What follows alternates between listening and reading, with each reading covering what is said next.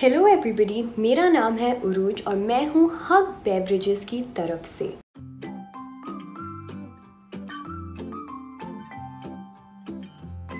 आज मैं आपको बताऊँगी तीन तरीके जिससे आपका कॉन्स्टिपेशन घर पे बैठे बैठे आराम से सुलझ सकता है। अब पहले तरीके पे आते हैं। पहले तरीके में आपको क्या करना है? आपको अपनी गट मसल्स को थोड़ी सी कसरत देनी है। ये बहुत आसान तरीका है। या आप अपने घर में रह के भी कर सकते हैं। आपको क्या करना है? आपको एक फ्लैट सरफेस ढूंढना है, जहाँ पे आप लेट सकें, एक योगा मैट बिछाएँ। आप ये योगा मैट पे भी कर सकते हैं, या आप ये अपने बेड पे भी रह के कर सकते हैं। इसमें आपको क्या करना है? आपको सीधा लेटना है और इसमें आपको अपने घुटनों को अपनी सीने की तरफ़ लाना है। फिर आप कुछ सेकंड के लिए होल्ड करेंगे, आप इंतज़ार करेंगे और फिर वापस अपने घुटनों को छोड़ देंगे। ये आपको दो से तीन बार रिपीट करना है। अब जब आप ये दो से तीन बार कर चुके हैं, आपको फिर ये दोबारा करना है। ज़्यादा फोर्स के साथ करना है, ज़्यादा ताकत के साथ करना है। और जब आप ये सेकेंड बार कर रहे हैं, इसमें आपको क्या करना है? आपको सांस बाहर छोड़नी है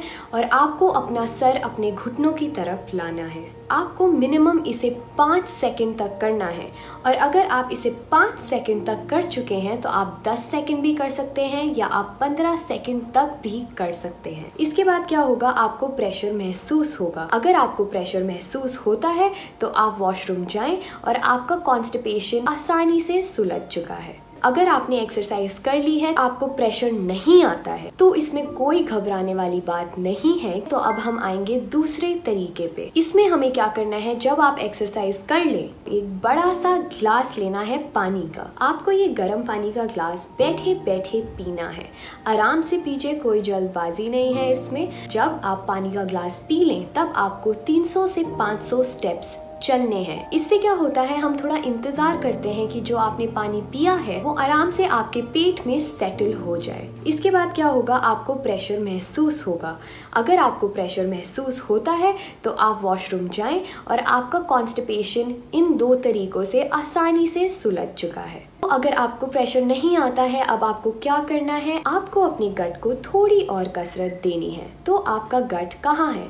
आपकी नाभि से एक इंच दूरी पे आपका गट होगा। आपको क्या करना है? आपको अपने गट को दाएँ हाथ की तरफ़ से बाएँ हाथ तक क्लॉकवाइज गोल तरीके से मसाज करना है। जब आप ये कर रहे होंगे, आपको अपने पेट के आसपास एक गांठ महसूस होगी। जब आपको ये गांठ महसूस होती है, आप उस गांठ को दाएँ से बाएँ घुमाएँगे। आपको ये ध्यान रखना है कि इस गांठ को आपको ज़ोर से नहीं अंदर करना है, ठीक है? आपको बहुत ही आराम से उसको मसाज करना है दाएँ से बाएँ। जब आप ये थोड़े वक्त तक करेंगे, आपको प्रेशर महसूस होगा। और आप वॉशरूम जा सकते हैं। अगर इसके बाद भी आपको प्रेशर नहीं महसूस होता है तो हम आते हैं अपने तीसरे तरीके पे। तीसरे तरीके में ये होता है कि जब आप वॉशरूम जाते हैं और आपका वॉशरूम वेस्टर्न स्टाइल से बना हुआ है, आपको क्या करना है?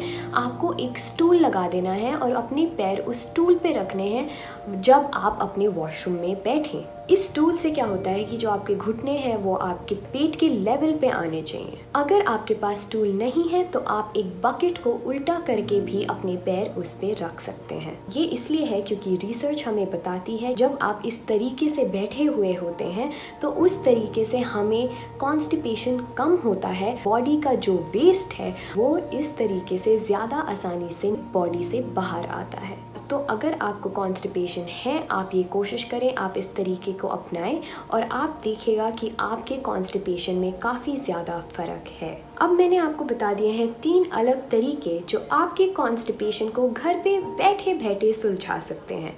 आप इन तरीकों को अपनाएँ और हमें बताएँ आपके लिए कौन सा तरीका काम आया।